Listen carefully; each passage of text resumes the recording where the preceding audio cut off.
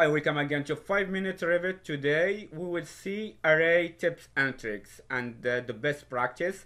Uh, some many uh, some many new users they ask me sometime why uh, I have this uh, group when I do array and uh, some many they don't like the way it's done in Revit. I will give you a best practice in this episode how it's work. Like I have this table and I want to make a linear array here. I select a table and I go here to array button okay? I click on the array button and i have my option bar. My option bar i always said it's uh, very very useful and sometimes there is some hidden tools there okay? And i go like for five table here and i go move to the last. I select here and i go to the last here like that. I have like five.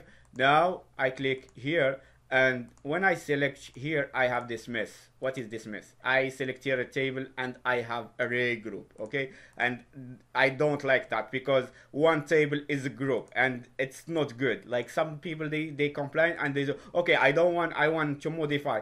And they go one by one ungroup it. They selected and they ungroup it. They selected and they ungroup it. And that it's it's not a a good way to work and you you you lose time. I select all that and i delete all that. Okay?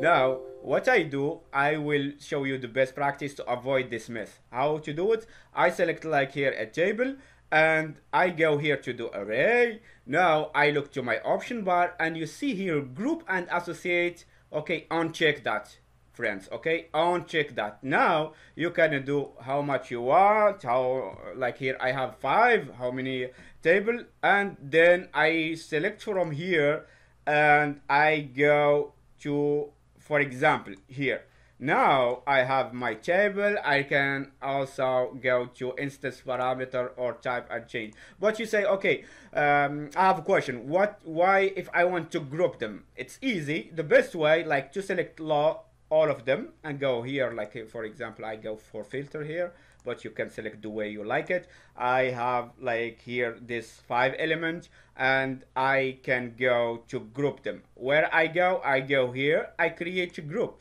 And I like you can change the name here I just like put group one. And now I have a group okay? When I have a group now you can continue if you have like you want to put the table here. You can just right click create similar and you place your group here and you align it if you want. That's sometime uh, save time and it sometimes it's very efficient. Like uh, you see here now you can have a group. And if you don't want to group it you don't li uh, like to group it depending uh, depend on how you work on Revit I hope this uh, this uh, small tips and tricks help you to avoid so many groups for nothing